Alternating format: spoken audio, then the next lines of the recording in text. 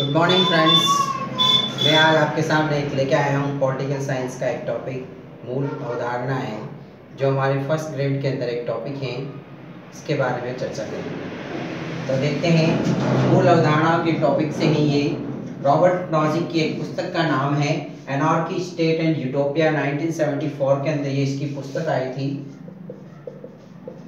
और इस पुस्तक के अंदर इन्होंने बताया था अधिकारों पर आधारित आमूल परिवर्तनवादी दर्शन को विकसित, जो न्यूनतम राज्य का समर्थन करता है, जिसे रात्रि प्रहरी राज्य कहा जाता है।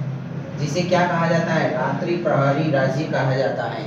इसके अंदर रॉबर्ट नॉजिक ने बताया कि रात्रि प्रहरी राज्य बताया जाता है। 1974 के अंदर इनकी पुस्तक आती है north state and utopia C Wright Mills उसके बाद में एक और राइट सी राइट मिल्स आते हैं, जो इन्होंने शक्ति अभिजन शक्ति अभिजन शब्द का सर्वप्रथम प्रयुक्त किया है? इन्होंने शक्ति अभिजन शब्द का सर्वप्रथम प्रयोग किया है और किमलिक का नागरिकता सिद्धांत किमलिक का नागरिकता सिद्धांत जो दिया गया है, वो सांस्कृतिक रूप से विभेदीकृत अधिकार पर आधारित है। किसके आधार पर आधारित है? सांस्कृतिक रूप से विभेदीकृत अधिकार पर आधारित है। और उसके बाद में एक क्वेश्चन है शस्त्र धारण करने पर, शस्त्र धारण करने, संपत्ति का स्वामित्व, स्वशासन की क्षमता रखने के रूप में नागरिकता की केंद्रीय धारणा को राजनीतिक सिद्धांत कारों के निम्न समूहों में से किसके द्वारा मूलतः दोष मुक्त माना जाता है?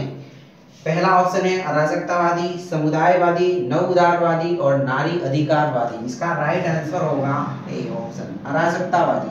क्यों होगा? अराजकतावाद राज्य विहीन तथा वर्ग विहीन समाज का प्रतिपादक है। ये किसका है? एक तो राज्य विहीन और वर्ग विहीन समाज का प्रतिपादक है। इनके अनुसार राज्य और निजी संपत्ति आवश्यक बुराइयाँ हैं। इनके अनुसार राज्य और निजी संपत्ति, ये क्या है? आवश्यक बुराइयाँ हैं जो मानवीय चरित्र को पतित करती हैं।